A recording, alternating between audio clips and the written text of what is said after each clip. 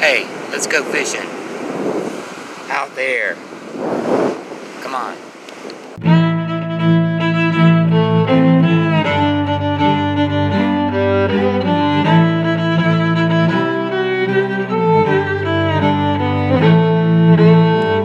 Alright guys, we're still on Hilton Head. This is the first day that I've been able to do any fishing. The rest of the family is gone, so it's just my wife and I now. Today is Thursday. There's a storm out at sea, but you can see the beautiful sunrise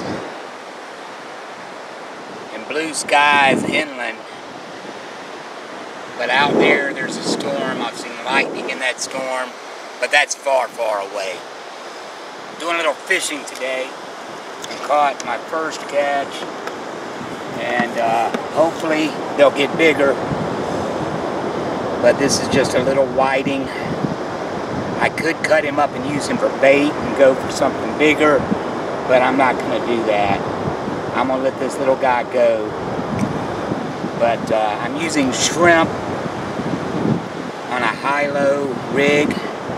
Got a three ounce weight there at the bottom and then two hanging hooks. And I put this out there and in a matter of four or five minutes, caught this little whiting. So I'm gonna go throw him back, put some more shrimp on here. Whoa, put some more shrimp on here and uh, see if we can get his big brother or big sister or mama or daddy. Alright, just about four minutes later, five minutes later, another one of these little whiting.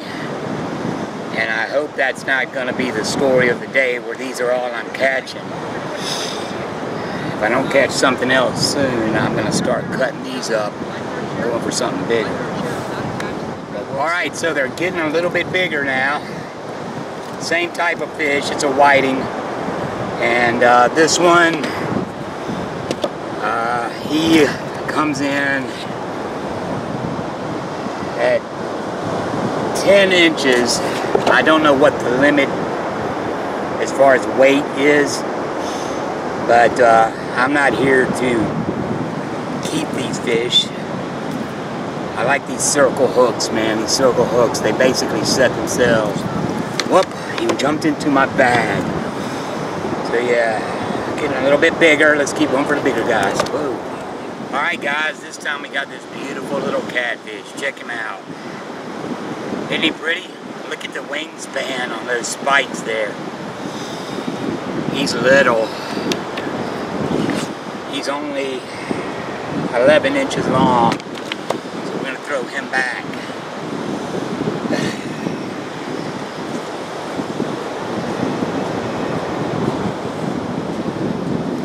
Hold on. No, it's a catfish. Yeah. Yeah.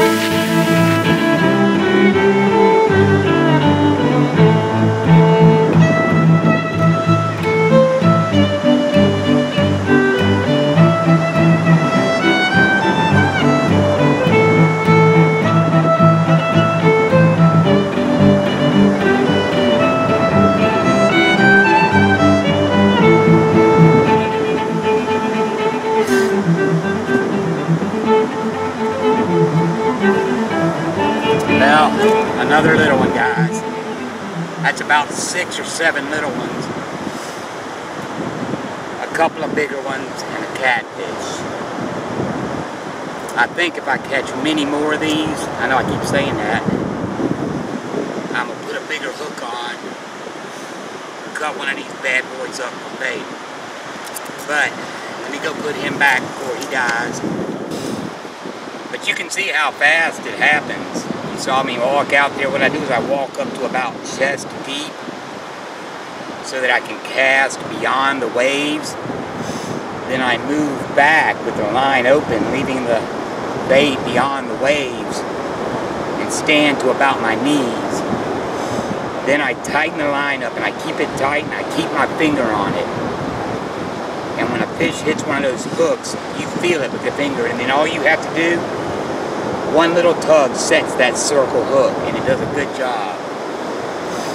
I uh, really like these circle hooks and uh, I've noticed I've been using shrimp for bait. Uh, I use a head and a tail and there's no rhyme or reason. They're biting both the heads and the tails, so they don't care. I've heard some people say, oh, you can't catch fish with the tail of a shrimp. That's bull. So we're catching them. My intent is not to keep these fish. I just enjoy it. They fight because you're fighting the current and the fish and the waves. And it's just a lot of fun to reel in even these small fish. And uh, I'm using a uh, seven foot Berkley Fusion rod. It's a seven foot and it's a heavy medium action and I already showed you the high-low rig that I'm using and uh, the reel that I have on there is a Berkley. I don't know what the name of it is well, it's a Berkley Fusion reel as well, I guess. But uh, yeah, it's a good setup for the surf. It's working well. Who knows, I might land into something big. Stick with me, guys. Well, that storm that I showed you earlier that was out at sea with the lightning and the thunder, it's pretty much gone now, as you can see. And now we got nothing but blue skies and bright sun. Alright guys, so I've been out here for exactly one hour. I caught six small whiting, bigger whiting, and then that one catfish that I got on film.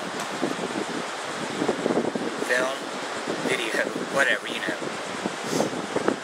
The tide is coming in. I've had to move my stuff forward twice and I've noticed that since the tide is coming in, the bites have slowed down. I was catching a fish like every five to eight minutes or so. By the time I walk out there cast it, walk back in, wait, and reel in the fish. But now, but now the uh, tide's coming in, They're not biting like they were. Alright guys, so it's been about an hour and a half, and like I say, I haven't caught any more those six small, two medium, and one catfish. It's definitely slowed down since the tides come in. Uh, it's about 8, 8.40. I'm going to go in now and see if Mrs. Erobin is awake and uh, have some breakfast and then I think we're going to come out and spend the rest of the day on the beach. Maybe I'll come back tonight again when it's low tide. While the tides are always changing, the next low tide will be in about six plus hours. So maybe I'll come back and try again at low tide because I seem to do a lot better then. I appreciate you guys coming along on Erobin Outdoors. Until next time, keep calm, carry on, keep it outdoors.